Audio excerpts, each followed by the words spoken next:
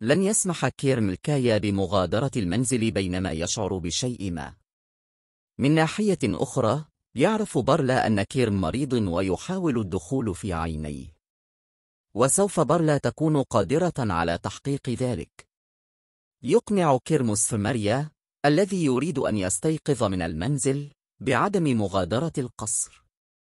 على الرغم من أن سفريا تقبل هذا في الوقت الحالي، إلا أنها يائسة لأنها تعتقد أنه لا يمكن أن يحدث شيء بينهما. ديسمبر في هذه الأثناء يمرض كيرم.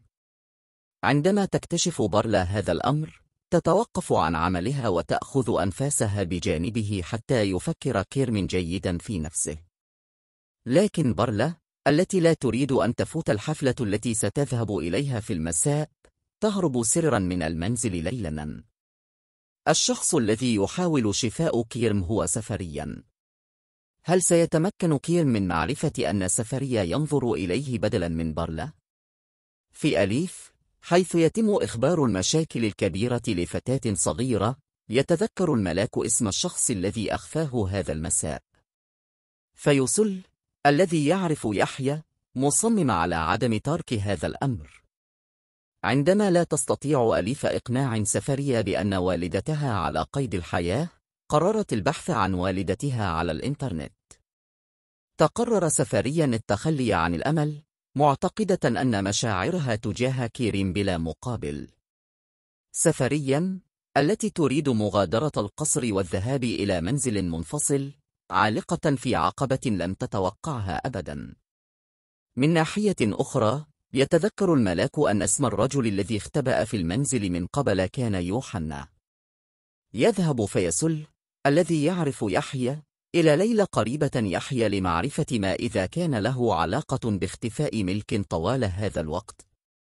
يسأل تولي وفيسل المطر عن ملك لمعرفة ما حدث لمليك وفهم من فعل ذلك به. أخبرت أليفا أخيرا سفريا أنها رأت والدتها على شاشة التلفزيون.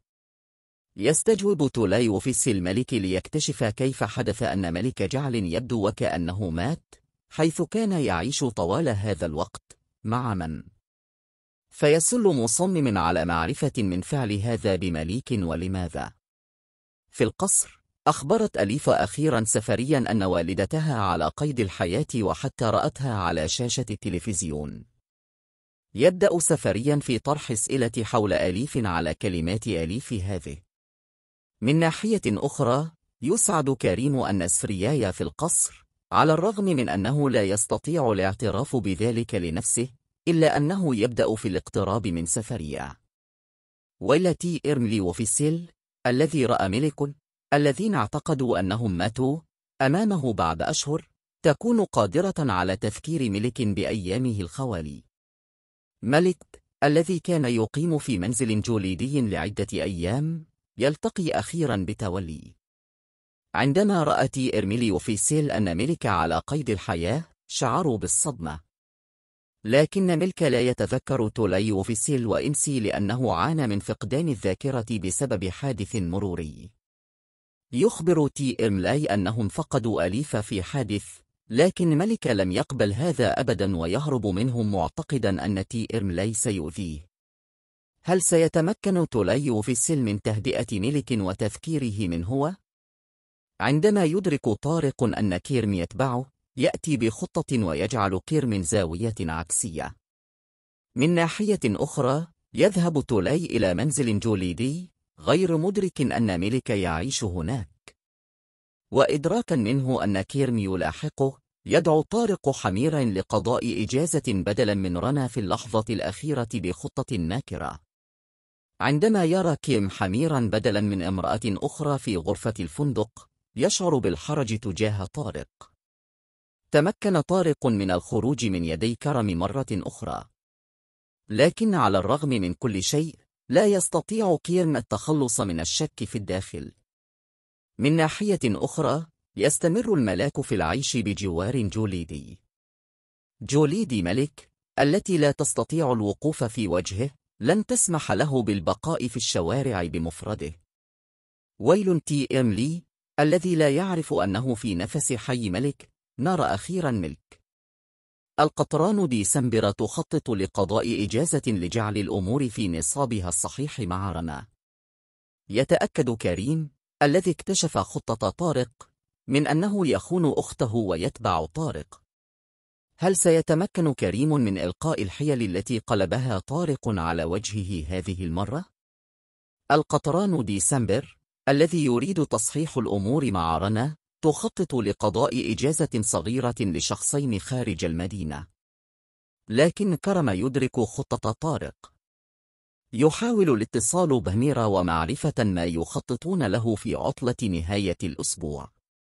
عندما يسمع أن حميرا ليس على علم بأي شيء يعتقد أنه محق في شكوكه. بعد أن أدرك أن طارق يخون حميرا يلاحق كريم طارق ويتبعه إلى الفندق الذي يقيم فيه لقضاء عطلة نهاية الأسبوع. لكن في غرفة الفندق ينتظر كيم مفاجأة لم يتوقعها أبدا. رنا تتخذ إجراءات للانتقام من طارق. إذا ساءت الأمور يعلق طارق في زاوية تماما. ماذا ستكون خطة رنا هذه المرة؟ إنسي مستاء من تولاي الذي لا يؤمن به. من ناحية أخرى تشعر تولاي بالضيق لأنها لم تستطع إخبار بيرل بما حدث بعد الحادث. من ناحية أخرى يواصل فيلدان صنع سم شراب ماسيد كدواء تحت إكراه طارق. حقيقة أن صحة ماسيد تتدهور تقلق الجميع. كيرم الذي لا يستطيع فهم هذه الحالة منه يصبح عاجزاً. في الشركة بعد الجدال مع رنا طارق تأخذ إجازة وتغلق منزلها للابتعاد عنه. غير قادر على الوصول إليه تبدأ أعصاب طارق في التدهور أكثر فأكثر. رنا تحب هذا كثيرا. رنا التي تريد الانتقام من طارق وإيذائه ترمي حميرة التي تعتقد أنه صديق في شبكته. تلتقي اللؤلؤة والملاك مرة أخرى لكن الملاك لا يتذكر اللؤلؤة. من ناحية أخرى يبدأ ماسيد بالمرض بسبب الأدوية التي قدمها فيلدان بيري الذي يرى ملك في الشارع للمرة الثانية تمكن من التحدث معه هذه المرة. لكن الملاك لا يتذكرها رغم كل جهود اللؤلؤة.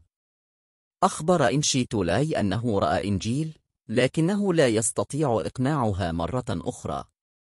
يعتقد تي إملي أن إنسي يفتقد ميليك وإليف كثيرا ويبدأ في التفكير في أنه يحلم مرة أخرى. في القصر تبدأ الأدوية التي أعطاها فيلدان سررا ماسيد في التأثير وتتدهور صحة ماسيد يوما بعد يوم. انتهى فيديو معلومات سلسلة آليف لدينا هنا.